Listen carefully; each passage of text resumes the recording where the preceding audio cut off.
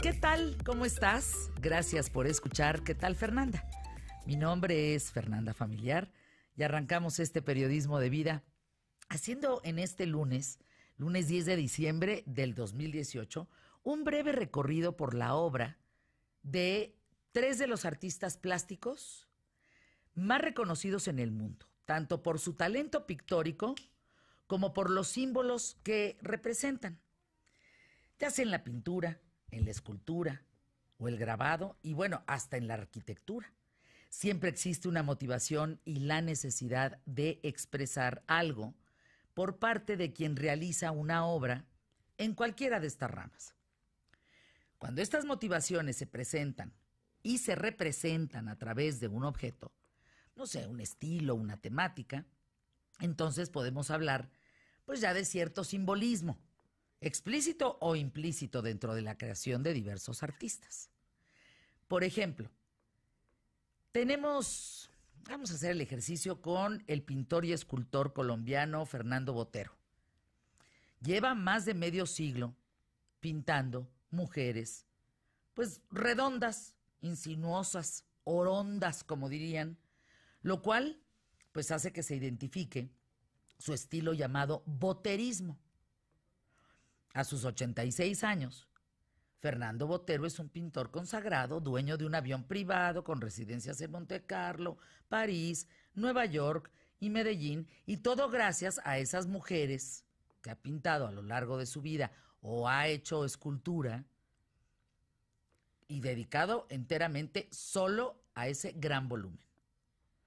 En octubre del año pasado, Botero presentó en Madrid un libro homenaje a las mujeres titulado Las mujeres de Botero, compuesto por dos volúmenes. En el primero se incluyen 45 dibujos seleccionados por el propio artista y el segundo está dedicado a su vida. Fíjense, en sí mismo, este libro es una obra de arte. En sí mismo es de colección. La portada es la cabeza de una mujer que pintó Botero en el año 2006, que une a ambos volúmenes forrados en tela de lienzo con una elegante encuadernación eh, armenia que es una joya. Pero cuando se le cuestiona a Fernando Botero por qué pinta a las mujeres frondosas, él dice, soy el pintor de el volumen, no de las mujeres gordas. Considero que es importante crear algo en lo que la pintura se lleva a cabo bajo parámetros libres, imaginativos e innovadores. Y termina por aclarar que él no crea el tipo de belleza que muestran los cánones clásicos, puesto que su objetivo es llegar a un estado en el cual es posible sorprender y ser sorprendido. Vámonos con otro ejemplo. Botero ya quedó claro, es un simbolismo, las mujeres frondosas, con volumen. Otro ejemplo, bueno, pues Dalí. Dalí, Salvador Dalí, que se llama Salvador Felipe Jacinto Dalí y Domenech, pintor, escultor, grabador, escenógrafo, escritor, Salvador Dalí se considera uno de los máximos exponentes del surrealismo, gracias a sus impactantes y oníricas imágenes, algo que también lleva al cine y a la fotografía. Como artista extremadamente imaginativo, pues manifiesta una notable tendencia al narcisismo, a la megalomanía, bueno, por supuesto, con el propósito de atraer eso, la atención pública. Eso es todo. Conducta que muchos de sus seguidores despreciaban, ¿eh? Solo valoraban su creación, pero no su personalidad. Por lo mismo, en el caso de Salvador Dalí, resulta interesante encontrar en sus primeras obras la influencia de otro gran artista contemporáneo, amigo suyo, pues que nada más y nada menos es Federico García Lorca, a quien muchos consideran pues básicamente uno de sus primeros amores aunque también hay quien rechaza esta relación y dicen que se trataba de una muy fuerte amistad y nada más. El caso es que Salvador Dalí pinta en varios cuadros la cabeza de Federico, tanto explícitamente como en una sombra que aparece recurrentemente. Por ejemplo, en las obras de Dalí, Afgano Invisible, aparición de rostro y frutero, o en el Enigma sin fin, ambas posteriores a la muerte de García Lorca, y es posible encontrar este símbolo que recuerda la cabeza de su gran amigo andaluz. Salvador Dalí y Federico García Lorca se dejaron de hablar durante varios años, sobre todo cuando Dalí se va a París con Buñuel, y Lorca considera esto como una traición, pero por las obras posteriores de Dalí, pues es claro que aún sentía algo muy fuerte por Lorca. Todo esto importa para el simbolismo. ¿eh?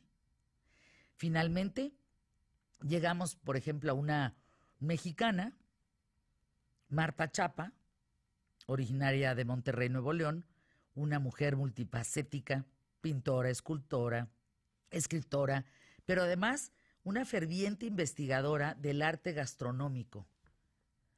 Ha tenido 250 o más exposiciones individuales, aproximadamente unas 1.800 colectivas, y ha publicado pues más de 30 libros especializados en cocina y más de una decena dedicados a el arte. Una carrera plástica increíble que inicia en 1960, incursionando en el dibujo, la pintura al óleo, la escultura. Y bueno, ¿cuál es el simbolismo de Marta Chapa? Pues las manzanas. Así es que ese es el tema principal de su obra. Es el símbolo de su infancia que guarda con mucha nostalgia, porque su padre, cuando regresaba del trabajo, me parece que era doctor, cuando regresaba del, del consultorio, le daba a Marta una manzana y ella las guardaba. La historia, este padre que le dejaba cada noche en su cuarto, antes de dormir, una manzana, y ahí para Marta se marca el origen de la humanidad y es la figura principal en sus pinturas. Aunque también, bueno, hay otros temas recurrentes en la obra de Marta Chapa como el Popocatépetl, la Virgen de Guadalupe, algunas plantas muy características de México, como los cactus, los magueyes, en fin. Yo te pregunto en este periodismo de vida, hablando de estos símbolos, por ejemplo, de Dalí, hablando de, de Marta Chapa, hablando de, por ejemplo, hace un momento de, Botero y el volumen en las mujeres. ¿A ti te gusta este tipo de simbolismos en el arte? ¿Cuál es tu favorito? Las manzanas de Marta son bien interesantes. No hay una manzana, y le vamos a preguntar cuántas ha pintado, ¿eh? que yo no creo que lleve la cuenta, pero no hay una manzana que sea igual a la otra. Eso sí, nada más hay que verlo y eso tiene un gran valor. Sin duda. A ti, Emilio Valles Vidrio, te presento aquí en los micrófonos de ¿Qué tal, Fernanda? Muy bien, gusto en saludarte. Igualmente. Bienvenido, bienvenido a una semana del programa ¿Qué tal, Fernanda? Carlos Armando Rodríguez, ¿cómo estás? Rafael Hernández, Ávid Gutiérrez, Vanessa, ¿todo en orden? Todo bien, todo en su lugar. ¿Qué te gusta en el arte simbólico? Me gusta Botero. La verdad es que sí me gusta mucho Botero. Sí. Sí. No, a mí no. ¿No te gusta Botero? A mí me gusta Botero. Pero a mí me pasa, creo que no soy muy objetiva ahí. Porque a mí me pasa que él, él, él no es de mi agrado. Él, él como, persona, No es de mi agrado. Entonces me cuesta mucho trabajo eh, disasociar un, tema de otro y, y ver un... Ahora, lo valoro como arte lo valoro como ver un botero en casa de alguien o en una exposición o digo, ah, qué bárbaro. Por ejemplo, aquel, aquella exposición que tuvo en las calles de España, en donde pues habrán sido unos 10, 15 piezas de botero a lo largo de una avenida principal, pues es una belleza verlo. Claro. Pero así que digas, híjole, no. Sí, a lo mejor es, esa cuestión. A mí lo que me gusta de Botero fue cuando yo lo conocí, o sea, conocí sus obras, me sorprendió mucho sea, el hecho de, a mí nunca se me hubiese ocurrido hacer este tipo de arte. El volumen. el volumen, ¿no? Y de alguna manera fue interesante ver este, una orquesta tocando eh, con todos en volumen, un Cristo, O sea, de repente sí decía, híjole, sí, Sí, sí, sí, sí fue eh, algo interesante para mí. Por eso fue que me gustó y digo, finalmente es parte de, me gusta Coronel también, por ejemplo, este, en fin, pero A ti, Carlos, a mí el tema del arte me fascina. Pues fíjate que yo no había visto lo de la cabeza de Lorca en las obras de Dalí, pero bueno, sabiendo la historia de ellos dos, cuando, cuando me entero de esto, pues eh, concuerda totalmente, ¿no? Esa influencia Qué que tiene. amor, ¿verdad? Sí. Qué, qué amor mutuo. Yo soy de los que piensa que de verdad fue su, su gran amor, pero pues Dalí no, no se aceptó jamás, ¿no? Pues el símbolo en- en- es muy importante, porque a veces pienso que más allá de una firma, el símbolo es la firma más profunda de un artista. Y repetirse en la creación a través de un símbolo me parece muy complicado. Como el ejemplo de Marta. exacto. Si tú siempre esperas manzanas de Marta, lo que tienes que ver del- de lo valioso de Marta es que no se repiten sus manzanas. Todas las manzanas son distintas. Cuando por lógica, si no lo ves desde la creación de un artista, pues podría ser muy fácil repetirte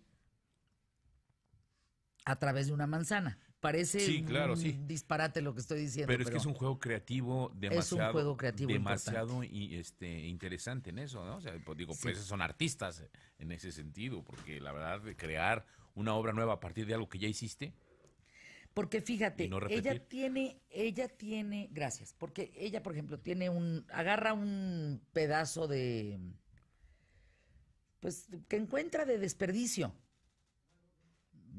¿De qué será? De cobre o una cosa, así, y ahí pinta.